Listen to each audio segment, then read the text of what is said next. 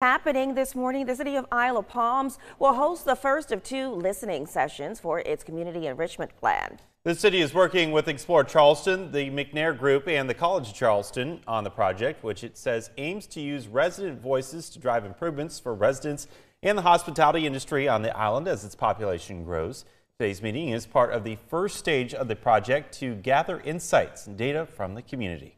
That meeting will take place in the Magnolia Room of the IOP Recreation Center on 28th Avenue beginning at 10 this morning. And if you cannot make it today, there will be a second meeting at 5.30 p.m. next Wednesday, June 5th.